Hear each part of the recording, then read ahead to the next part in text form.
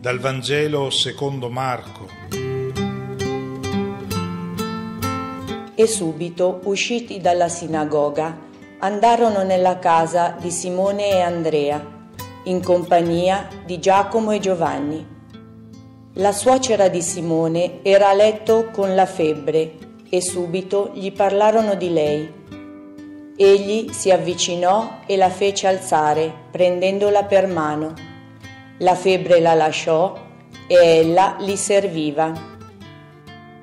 Venuta la sera, dopo il tramonto del sole, gli portavano tutti i malati e gli indemoniati. Tutta la città era riunita davanti alla porta.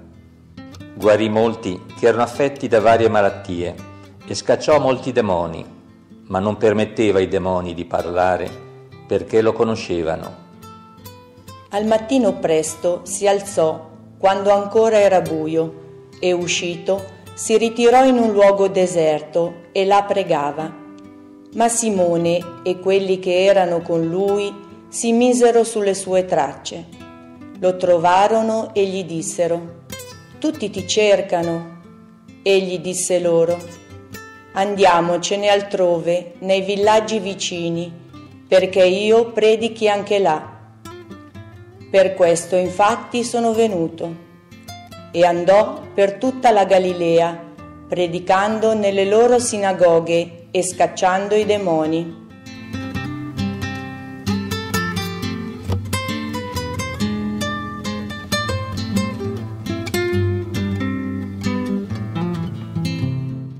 Una buona domenica a tutti. Abbiamo pensato di introdurre questo brano evangelico presentando sullo sfondo una foto molto antica. È stata scattata all'inizio del secolo scorso quando iniziavano gli scavi portati avanti dagli archeologi francescani del luogo dove sorgeva la città di Cafarnao. Molto importante questa città perché tutta la vita pubblica di Gesù si è svolta attorno a questo lago e la residenza che Gesù ha scelto è stata la città di Cafarnao. Non era la città più importante fra quelle che sorgevano attorno a questo lago di Tiberiade o lago di Genezaret, Molto più importante era la città di Magdala, vi viene indicato dove sorgeva questa città sul lungo lago, aveva 700-800 abitanti. La sua importanza però dipendeva dal fatto che da questa città passava una delle vie più importanti dell'impero romano, che era la via del mare, la via Maris, che congiungeva l'Egitto con la Mesopotamia vi viene indicato dove passava questa, questa via del mare e c'era anche la dogana a Cafarno, quindi un'importanza economica e il doganiere lo conosciamo molto bene perché era quel Matteo che poi diventerà un discepolo del maestro.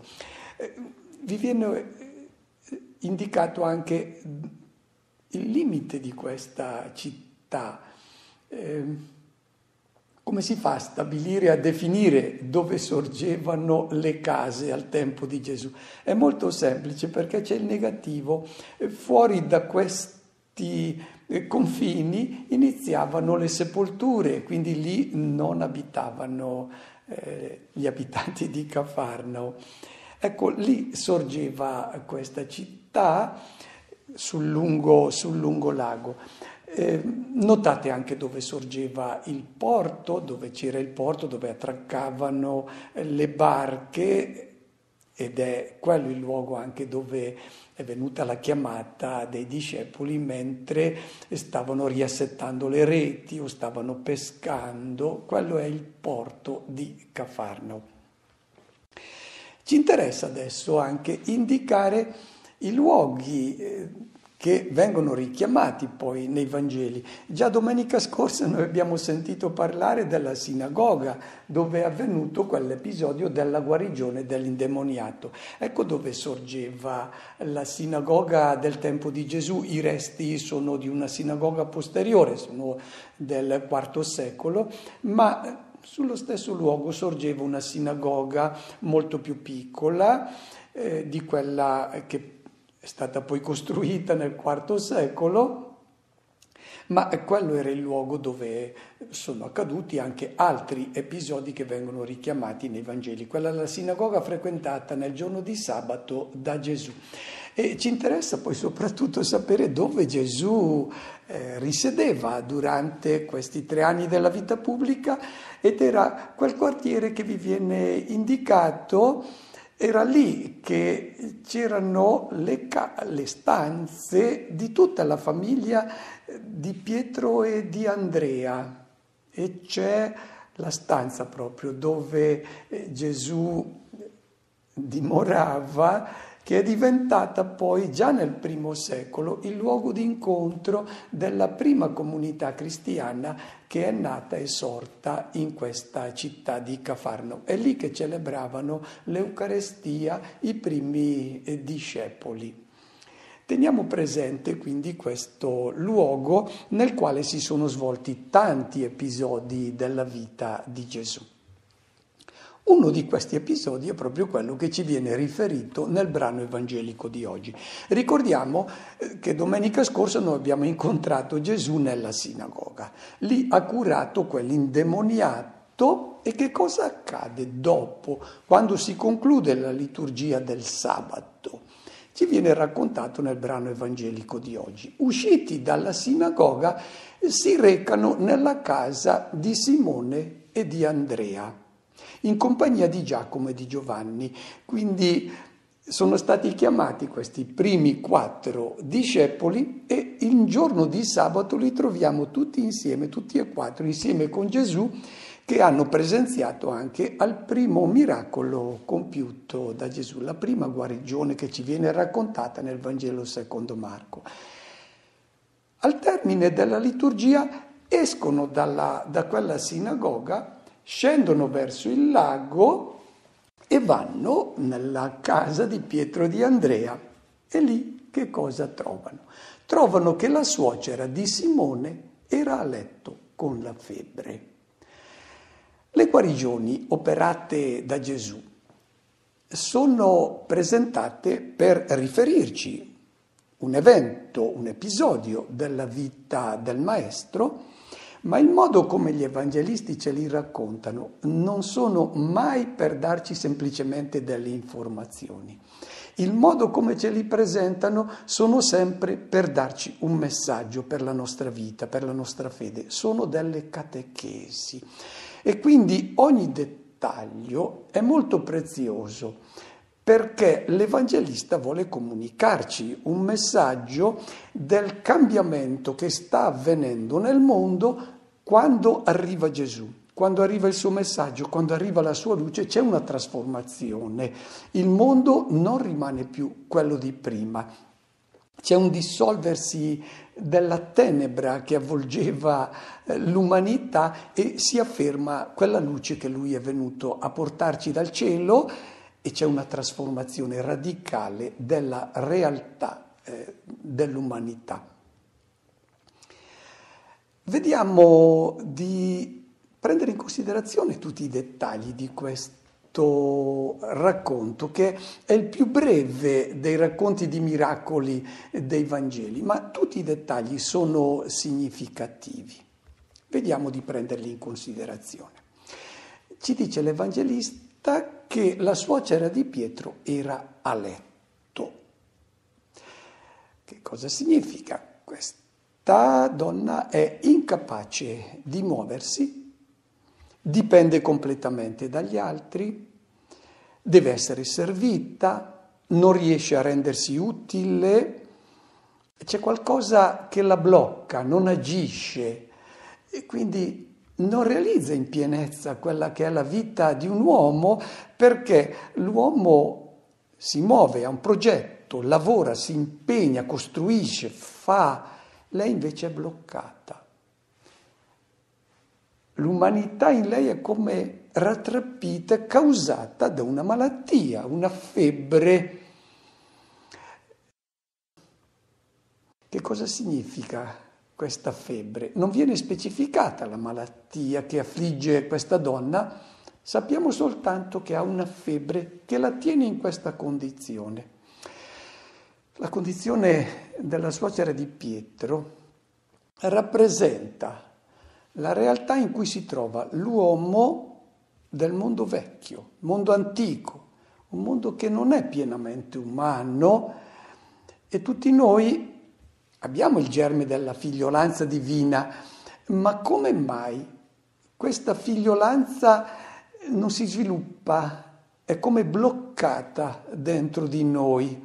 Cosa paralizza? Proviamo a chiedercelo.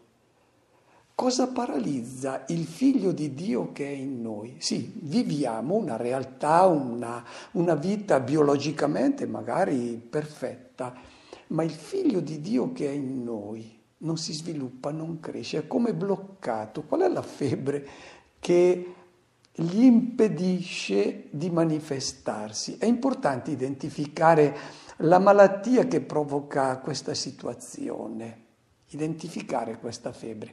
Diciamolo subito, ha un nome, la malattia che ci tiene a letto, che non ci lascia essere pienamente uomini. Pienamente uomini intendo dire pienamente immagini del Padre del Cielo, quindi i suoi autentici figli.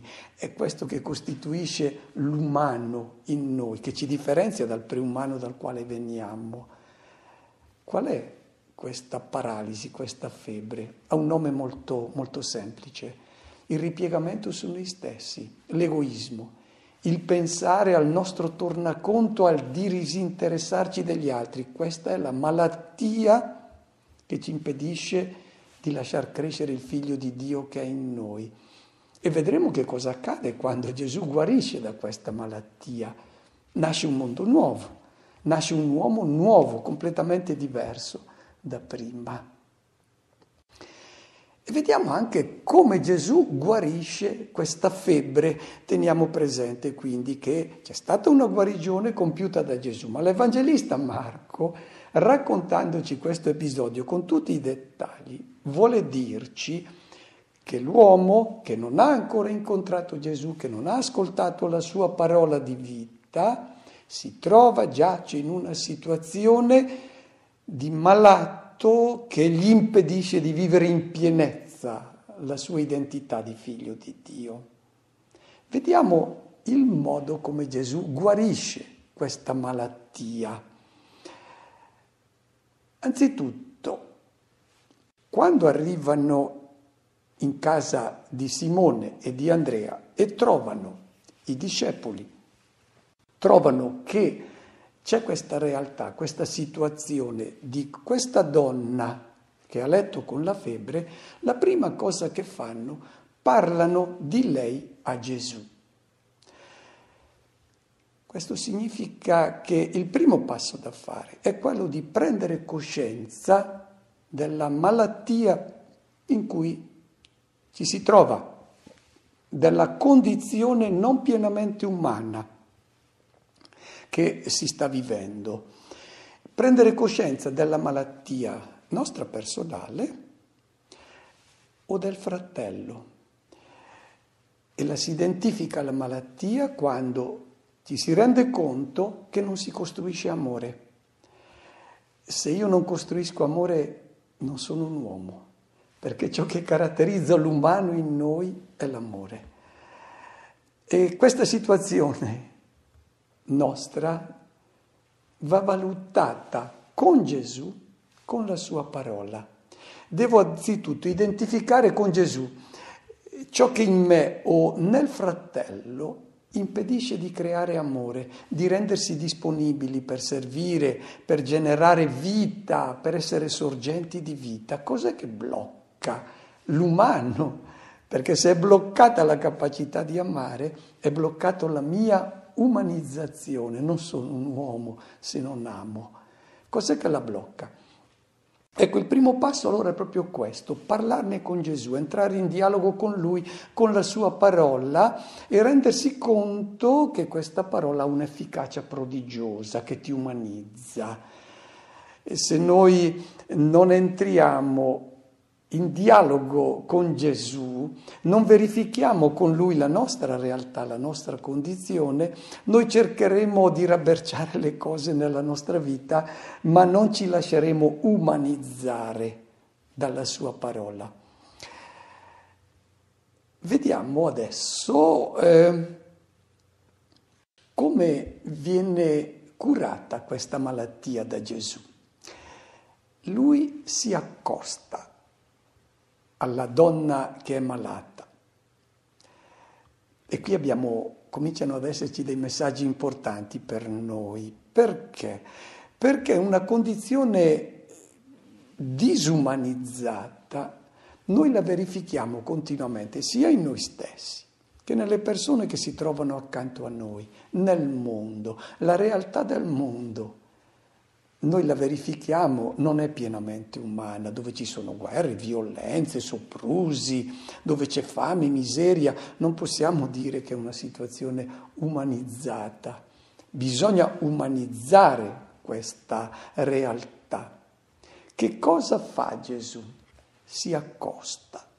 Questa è la realtà del mondo, questa è la realtà dell'umanità. Gesù non si allontana, non ha paura, non si mette a imprecare eh, contro questa realtà, questa condizione, non scantona, si avvicina. E questo è il pericolo che tante volte noi corriamo, quando vediamo che le cose non vanno bene, che ci sono delle situazioni che ci urtano, eh, che ci accorgiamo eh, dovrebbero, non dovrebbero esistere, ci si rassegna, si impreca e si pensa già di aver fatto ciò che si deve fare. No, Bisogna prendere atto che questa è la situazione che noi incontriamo, che Gesù ha incontrato e questa realtà va cambiata, va umanizzata, si accosta, perché la vuole cambiare. Anche il discepolo non deve ignorare le febbri che impediscono alle persone di vivere. Non può estraniarsi il discepolo, fingere di non vedere, aspettando magari che siano altri ad affrontare i problemi. Chi ha assimilato i pensieri, i sentimenti del maestro si avvicina, si fa prossimo di chiunque è vittima di situazioni disumane. Quindi, primo passo, accostarsi, affrontare questa realtà di peccato, di miseria. Poi la solleva prendendola per mano. E questo gesto di Gesù va capito con il verbo greco che viene impiegato, egeirein. Prendere per mano la fa risuscitare. Quella è una situazione di una persona umanamente morta chi non è capace di amare non è un uomo, l'umanità in lui è morta, l'umano vero va fatto risuscitare, portato nella vita nuova, va preso per mano e sollevato. E la febbre la lascia. Ed ecco l'effetto della guarigione. Li serviva, non cominciò a servirli, il verbo è l'imperfetto e va lasciato così com'è. Li serviva. La nuova vita si manifesta proprio nella diaconia, nel servizio, nell'interesse per il fratello, per ciò che posso fare per la sua vita. Si è guariti quando si comincia ad amare. Eccolo l'uomo nuovo che nasce quando da una condizione in cui non è capace di amare, diventa disponibile a servire i fratelli. Questo è l'uomo nuovo che nasce quando incontra il maestro, quando incontra la sua parola. Il servizio è la caratteristica del vero discepolo, discepolo di colui che è venuto per servire, non per essere servito. Noi lo ricordiamo, l'ideale dell'uomo greco era il dominatore, non il servo. E Gesù è venuto per capovolgere questa umanità, è venuto per salvarci da questo ideale disumano che è quello del dominare sull'altro. Ecco la, la, febbre che lui è venuto a curare, che è rappresentata proprio da questo gesto che lui compie di far risorgere questa umanità che è bloccata dall'egoismo, dalla volontà di dominare e la salva. Salvare non vuol dire introdurre in paradiso, salvare vuol, di, vuol dire lasciarci mettere in piedi per servire i fratelli perché l'alternativa qui è quella fra il servirsi degli altri e il servire il fratello.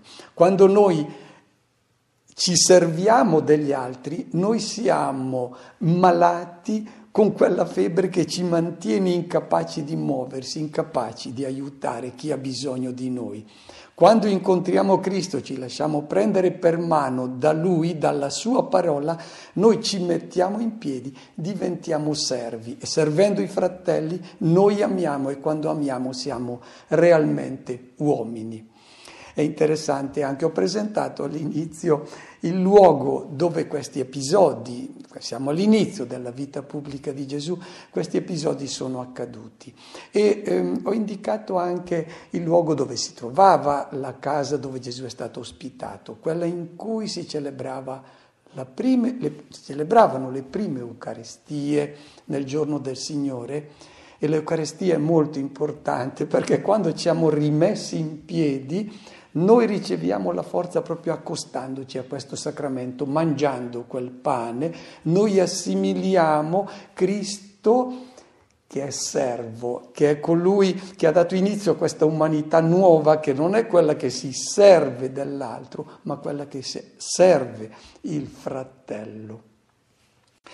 Venuta la sera, eh, conclude il nostro brano evangelico, dopo il tramonto del sole, portano a Gesù tutti gli ammalati, tutta la città riunita davanti alla porta, la porta della casa di Pietro. Durante il giorno di sabato sono rimasti nelle loro case perché non ci si poteva muovere, non si potevano portare gli ammalati, ma alla sera di quel giorno portano gli ammalati e si trovano tutti davanti alla porta dove si trova Gesù ed è la casa di Pietro. Questo è un linguaggio simbolico molto significativo per noi perché sono davanti a quella porta, perché sanno che da, dalla porta di quella casa dove si trova Gesù, dove si trova Pietro, esce una parola che umanizza, che salva, che cura le persone da tutte le loro malattie.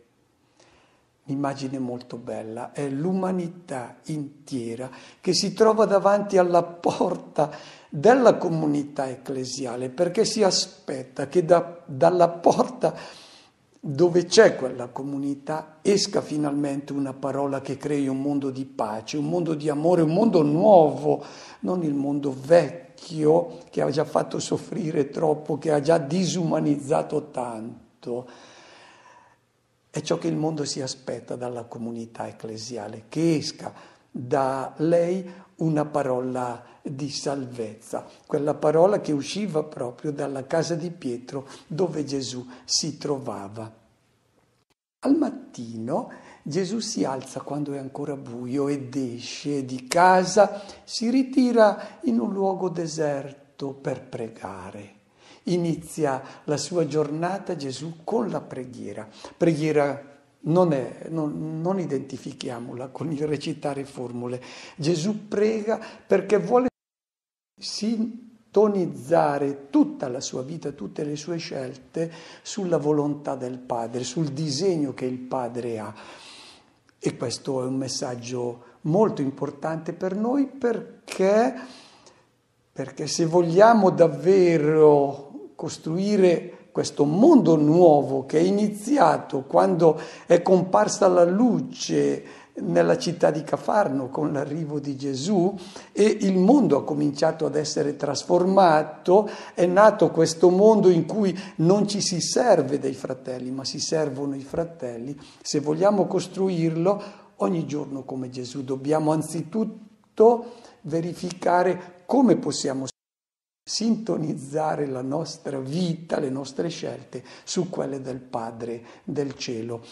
Pietro e gli altri non hanno capito la ragione per cui Gesù è uscito da Cafarno, per cui Gesù prega e Gesù eh, dovrà dire a questi discepoli dobbiamo fare le scelte secondo il disegno del Padre. Il Padre vuole che questo messaggio di salvezza non lo blocchiamo nella città di Cafarno, ma andiamo davvero a annunciarlo a tutte le comunità di Israele anzitutto e poi a tutte le comunità del mondo. E l'invito ad aprire il cuore a questo annuncio della parola, una parola che umanizza, che ci solleva dal letto, quale, dal letto delle pigrizie e degli egoismi nel quale ci troviamo e ci apre a una vita di amore. Auguro a tutti una buona domenica e una buona settimana.